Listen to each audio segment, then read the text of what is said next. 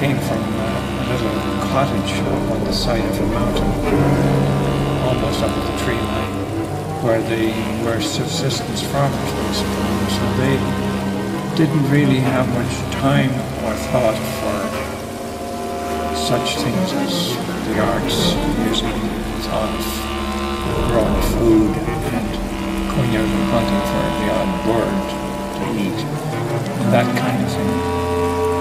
Peasant life. I sometimes say that to I'm really peasant at heart.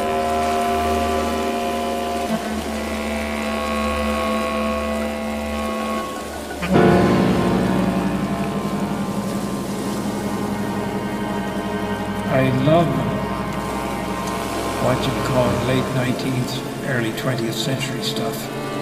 And they produce these gorgeous sounds marvelous chord sequences that have little sort of disc chords built into them, which makes me feel great when I hear. Uh, and the ridiculous part of it is that that a lot of music has a sadness to it, but the sadness makes me feel good. I enjoy the melancholy